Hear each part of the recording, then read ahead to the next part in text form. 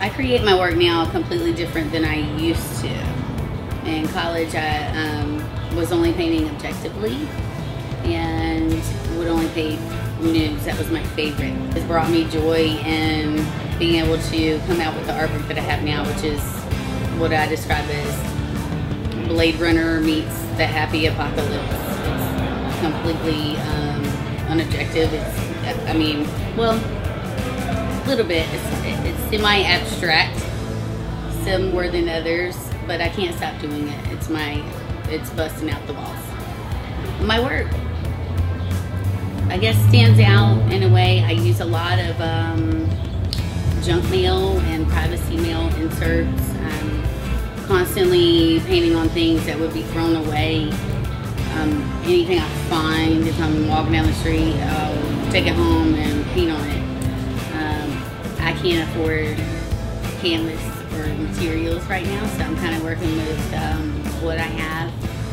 Um, and that's about it.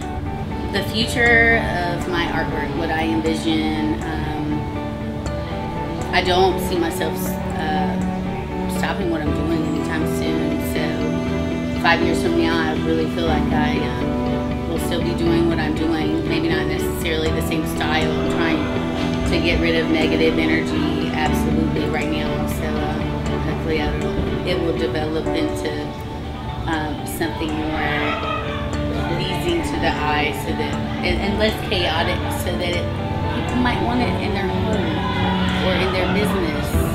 Right now it's just it, it's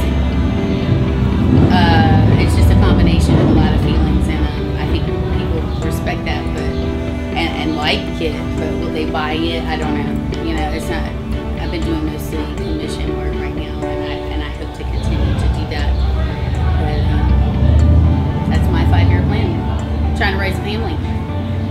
More information about me on my website, which is spelled G R E Y T H E A R.